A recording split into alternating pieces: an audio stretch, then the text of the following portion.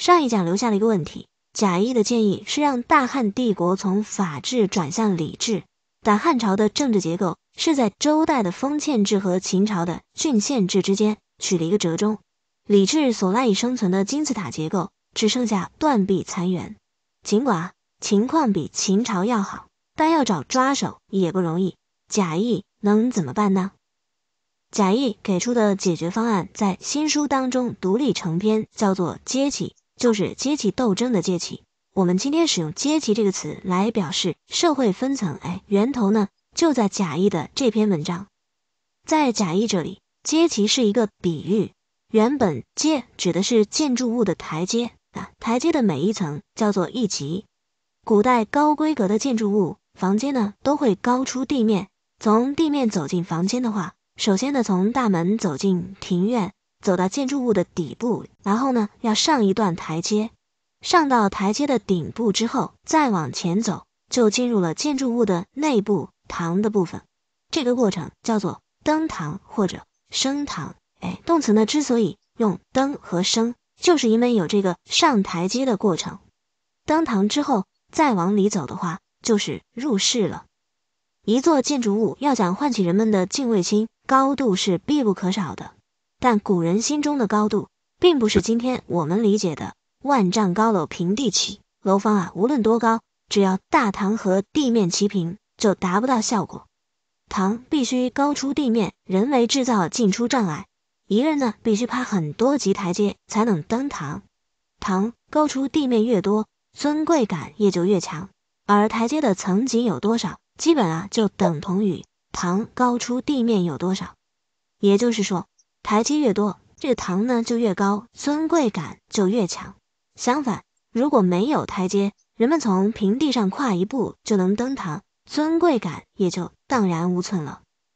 贾谊在这里有一句很响亮的总结陈词，原文是“高者难攀，卑者易临，礼释然也”。这话呢一语双关，表明意思是位置够高，别人呢就爬不上去；位置低了，别人一步就跨过去了。这是客观规律，不以人的主观意志为转移。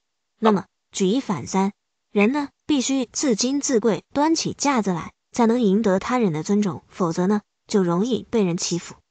这个意思。如果往好听了说，就是人必自重而后人重视；如果往难听了说，就是拜高踩低，天性使然。贾谊呢，并不去做道德评判，他在意的是，既然这是天性使然，那就应该因势利导，把皇帝捧到高不可攀的位置，离普罗大众啊越远越好。这就需要社会等级的台阶有更多的层级，而既然周代的公侯伯子男、公卿大夫士。已经沦为历史沉寂，无法复活了。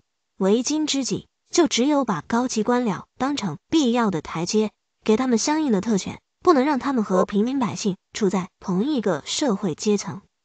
这话乍听上去很不合理，达官显贵怎么会和平民百姓处在同一个社会阶层呢？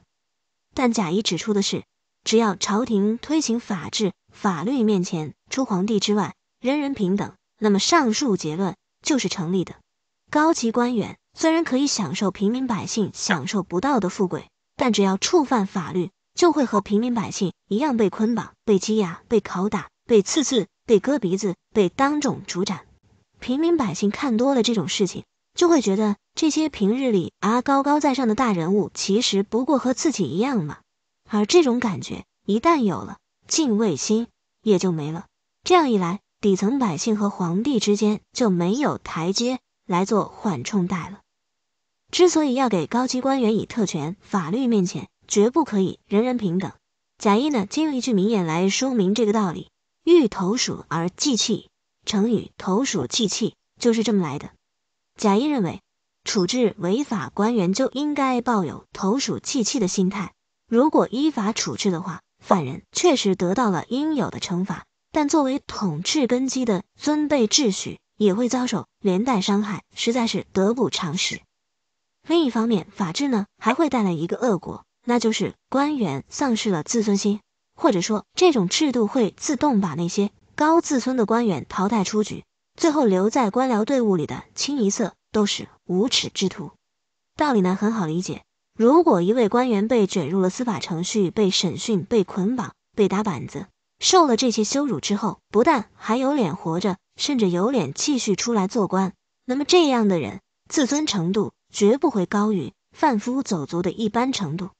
如果官僚集团都是这种人，那么当皇帝一旦遇到一点挫折，结局不问可知，不是树倒猢狲散，就是墙倒众人退。所以皇帝应该有意识的。培养官僚队伍的廉耻之心。至于哎，怎么培养？最好呢去参照一下豫让这个案例。豫让的事迹，前文呢已经重点讲过。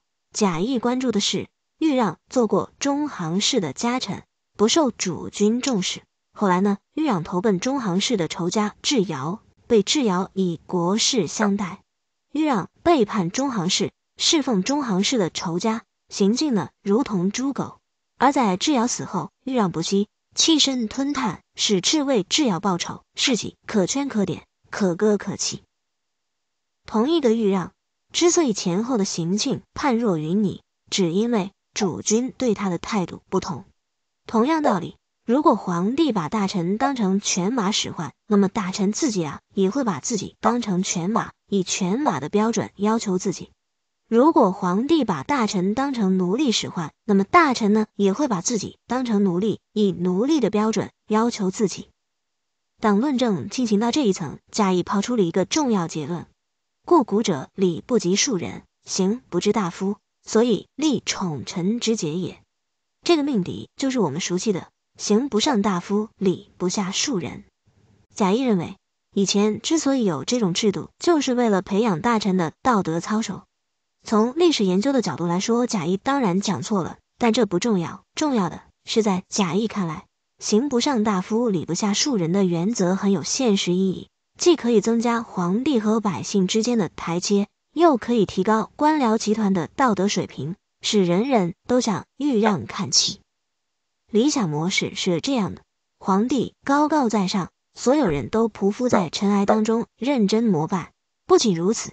每一个阶级的人呢，都敬畏本阶级的上层阶级，而整个官僚集团虽然本质上还是皇帝的雇员，但因为皇帝把各级官员当成公侯伯子男、公卿大夫士，给予足够的礼遇，于是各级官员都会拿国士的标准来要求自己，甘心成为豫让的后继者。这样一幅政治蓝图，稍稍憧憬一下，就足以令人心驰神往。那么新问题。出现了。如果真有高级官员违法犯罪了，皇帝总不可能不闻不问吧？在周代的礼制结构里，常规方案是让这名官员主动离职，打点行装到国外流亡去，但家产、爵位和官职会给他的继承人保留着。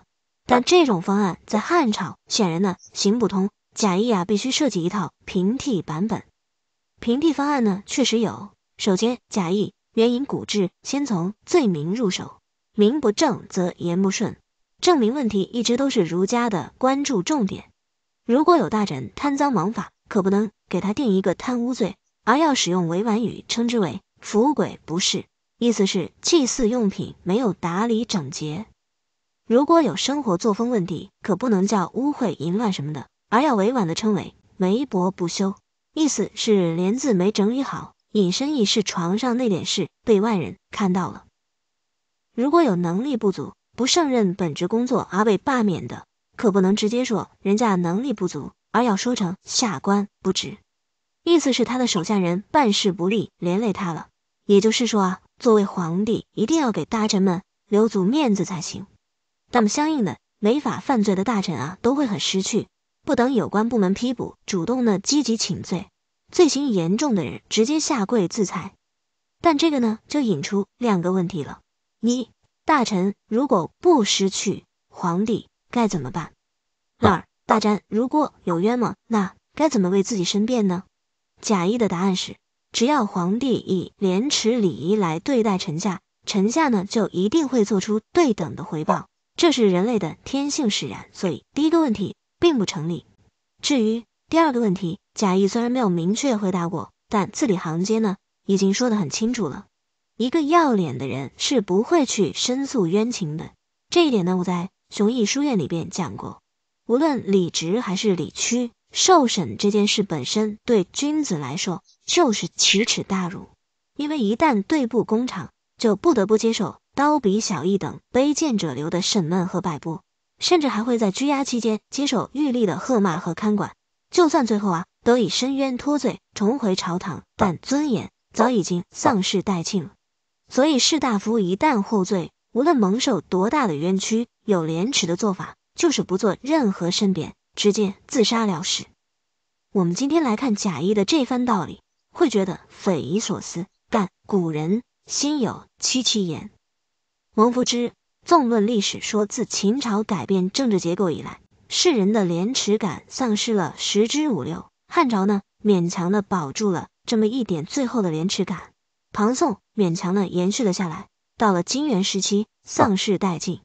明太祖朱元璋倒是动过廉耻父亲的念头。但终于做不到。王夫之笔下的明朝士大夫群像是这样的：俄加朱熹，俄坠朱渊，习于呵斥，立于桎梏。这是原话，意思是说啊，他们时而被恩宠，仿佛呢被皇帝抱在膝盖上；时而啊被暴击，仿佛被推下了深渊。呵斥、羞辱也好，披甲戴锁也好，他们呢都习以为常了。那么问题到底出在哪儿呢？王夫之认为。虽然中央集权的政治体制要背这个锅，但士大夫实在呢也有几分自取其辱。萧何坐过牢，出狱之后照旧当他的丞相；周勃呢也坐过牢，出狱之后照旧当他的侯爷。平心而论，皇帝想怎么折辱他们，他们啊确实没有抵抗的能力。但受辱之后辞掉官职和爵位，这个总是能做得到吧？在干明朝的这些官员。如果说拼死进献忠言，不怕诏狱和廷杖，这确实称得上是一个忠字。然而在诏狱里被折磨完了，被廷杖当众打完了，身体恢复过来，不以为耻，反以为荣。不久之后呢，哎，又穿着官服，拿着护板，在朝堂之上人模狗样的继续做官，这就过分了吧？当然，即便以王夫之的标准，在明朝群臣当中，也挑得出极少数的榜样人物。东林党名宿高攀龙就是一例，他被阉党诬陷，罪名是贪污。如果用贾谊的话说，就叫福鬼不是。高攀龙赶在执法人员上门逮捕之前就投水自尽了。死前呢，留下遗表，说自己虽然被削籍为民，但毕竟呢当过朝廷大臣，大臣受辱则国辱，所以呢向北叩头，学习屈原的榜样，君恩未报，结怨来生。王夫之拿高攀龙举例，说高攀龙投水一死之后，连魏忠贤的气焰都有所收敛。这样一看，贾谊显然是对的。文帝也确实深以为然，赵方抓妖。后来啊，大臣有罪，虽然并没有像《资治通鉴》讲的那样皆自杀不受刑，但自杀确实成为主流价值观之下的必选项。不过贾谊没说对的是，要想培养士大夫的节操。皇帝和士大夫必须双向奔赴才行，只靠皇帝的努力是不够的。我们很快就会看到一个活生生的例证：大臣犯了重罪，文帝把贾谊这一套里的功夫都做足了，但大臣就是不识趣，不甘自杀，这能怎么办呢？贾谊的治安策到此结束，我们下一讲再见。